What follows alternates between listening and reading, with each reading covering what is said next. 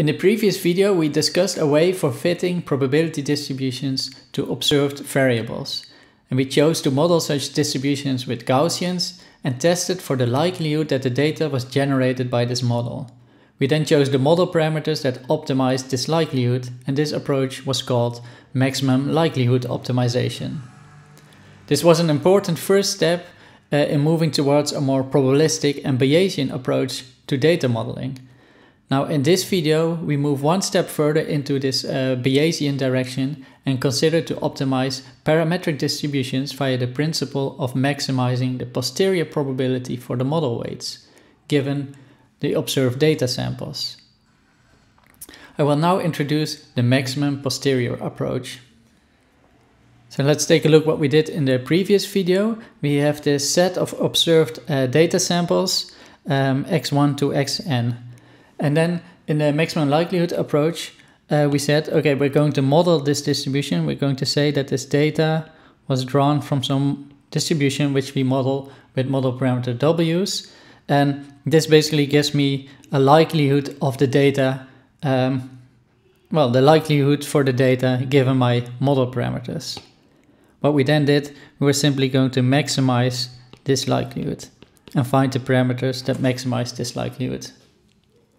So now in the maximum a posteriori case, we're going to uh, consider optimizing the posterior of the weights giving my data. So now we're going to look at this distribution, the distribution for the weights given my data. And I'm going to maximize this. So I'm going to maximize the posterior probabilities because this thing over here is called the posterior distribution. It is a distribution for, uh, it assigns probabilities for my model uh, parameters uh, given that I've observed, so after I observed my data. So we see that now we're going to change viewpoints, right? Because initially we considered distributions over my data, which were parameterized uh, by my weights W. So actually what we were optimizing over was a function, a function of W, uh, because D was fixed. And now we're going to change viewpoints and now we consider uh, the probability as a distribution over the weights given my observed data points. So we're going to uh, change viewpoints and we can do this using Bayes' theorem as we have seen uh, in one of the previous videos and uh, as we will see in uh, the next slide. Okay, so now consider again this regression case. So we have a data, we have observation that came in the form of input target pairs, input target, and this is denoted by the vector of input values and the vector of uh, corresponding target values. Then uh, we modeled uh, such data being generated uh, via a normal distribution whose mean was given by uh, well, my true model. Uh, so y models the relation between x and the target, and it's modeled by a w parameter. So we say the target is centered around this prediction, but there's some noise associated with, associated with it. So my target values, they have some noise on it. And we modeled this probability distribution to be a normal or a Gaussian distribution. And this is the form of it, right? So we have this front factor and this exponential.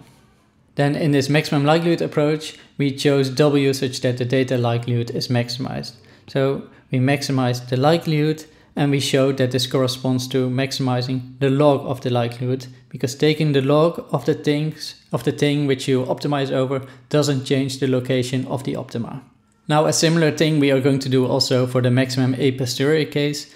Now we're not optimizing over uh, the likelihood, but now we are optimizing over the posterior probabilities given my observed data and uh, given my uh, modeling parameter.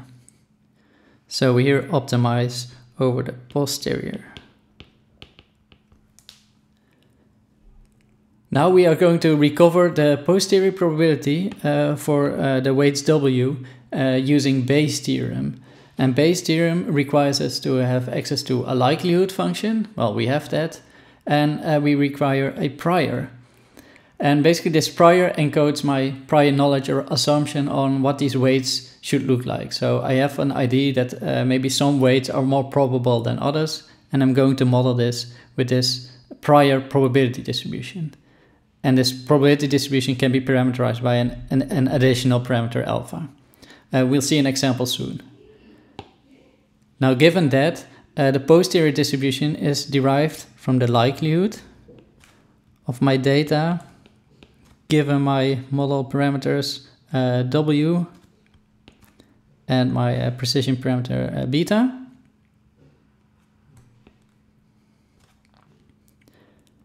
times my uh, prior probability which is conditioned on some uh, some parameter alpha. So we have here the likelihood times the prior and, and this is normalized with the evidence.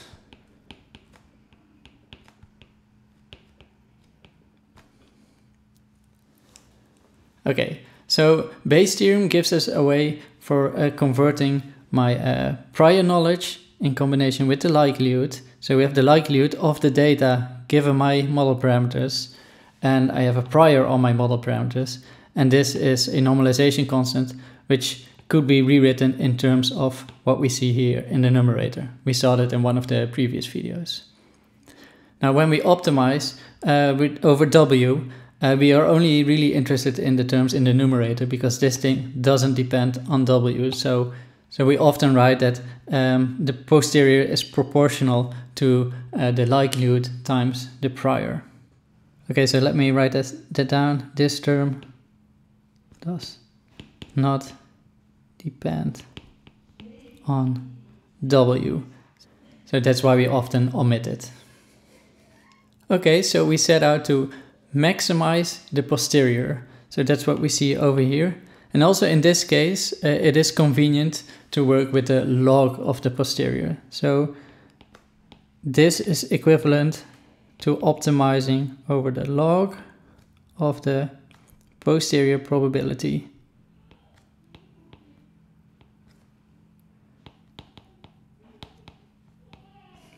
And this is the case because the log doesn't change the location of the optimal values for W. Now using Bayes' theorem, we could write the posterior in, in terms of a product of a likelihood with a prior uh, divided by the evidence. Now um, with this log, these products splits into a sum of these three separate terms. So we see that we're actually optimizing over, let's write it out, we take the argmax with respect to W of the log of the likelihood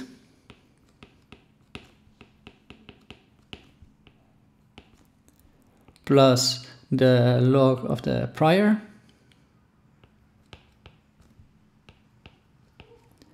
minus the log of the evidence.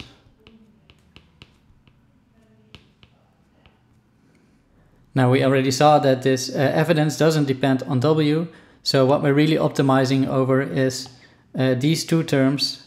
So we take the argmax of the log likelihood plus the log of the prior. And this gives us the maximum a posteriori uh, estimate for W. Okay, now we also have to deal with a model for the prior. So we're going to model the prior distribution also with a Gaussian distribution because these Gaussians are convenient to work with as we have uh, seen so far. And what is typically done is that you assume that the weights uh, that describe our model, let's say we have m of these weights, uh, we assume that uh, the values for each of these individual weights, weights is close to zero. So that's my prior um, assumption that my weights shouldn't be too large, they should be close to zero. Um, but I put some uncertainty on their value. I mean, they can deviate from zero.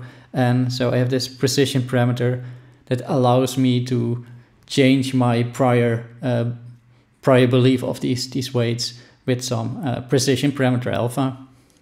Okay, so I can do this. Um, I also assume that the weights are uncorrelated, so they're independent of each other. So this joint probability on the weights um, is split into this product of all these individual priors for each of the individual weights.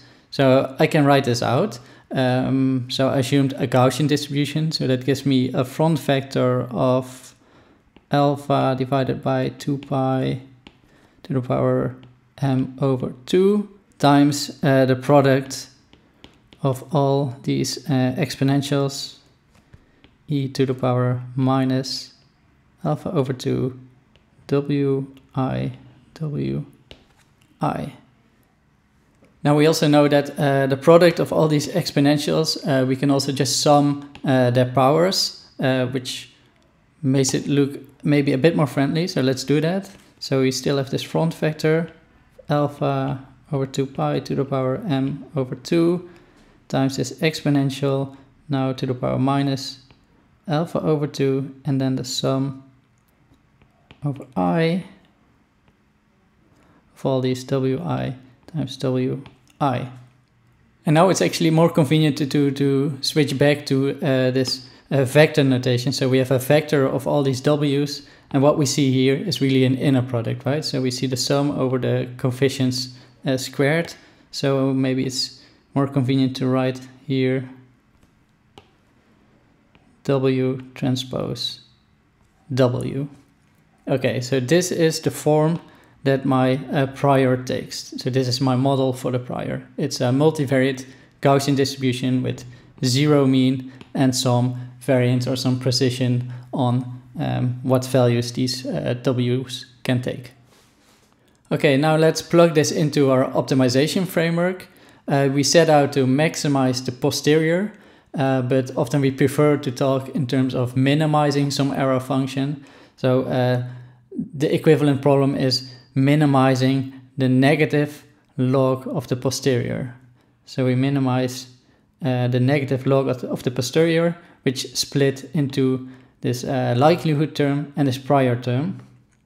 We saw that over here we have this likelihood term and a prior term, and this term doesn't contribute to the solution. Now let's purely focus on uh, the prior term. So the maximum a posteriori solution for W is found via the arg min with respect to W of the negative log likelihood. I'm just going to leave it for what it is for the moment. Minus the log of the prior. So we're going to take the logarithm of this thing and I'm going to ignore this term because it doesn't depend on w. And then the log of this exponential would give us actually minus, so this becomes a plus, plus alpha over 2 w transpose w. So what we see here is that the maximum a posteriori estimate is given by minimizing uh, the log likelihood plus some extra error term that penalizes uh, the weights in a quadratic way. Okay, so we just derived uh, the log of the, the prior, that's this thing over here, that's it's a quadratic penalty, and now we're going to insert the log of the likelihood. And the likelihood for an individual data sample was given by this thing. The likelihood of the entire data set is given by uh, the product of all uh, these items. So um, that's what I'm going to take the log of, of the product of all these things. And I'm going to ignore the front factor. And that would give us, give us actually the log of the likelihood is given by the sum over all my data uh, samples weighted by beta over 2. So this uh, minus disappears because I'm taking the min, uh, the negative log likelihood. And then of this term, t minus yxw squared. So we see that uh, the maximum a posteriori estimate for uh, w is given by this least squares problem, which is regularized with some uh, quadratic penalty on w. Now, similar as in uh, the maximum likelihood case, we were modeling the data to be uh, distributed according to this predictive uh, distribution. So for a fixed x, I obtain a distribution for um, the possible target values. And this distribution was parameterized now via the optimal uh, solution for W. So in our case, this predictive distribution then is, is parameterized or is modeled with a Gaussian of the random variable t, which has a mean which is centered around my, uh, well, my model's uh, prediction and which has some precision or variance associated. And this variance is now also modeled. It's still an, a free parameter in, the, in, in this entire model.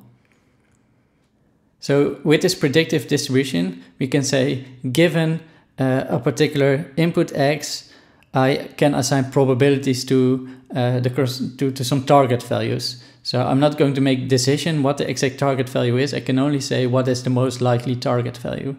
And if you want a point estimate, I can give you a point estimate. Then let's choose the expected value um, of uh, this random variable t relative to this uh, predictive distribution. And the expected value of a Gaussian is given by its mean, and its mean is given by this model, which takes an input x and transforms it in a way that is parameterized by my obtained uh, maximum a posteriori estimates uh, w.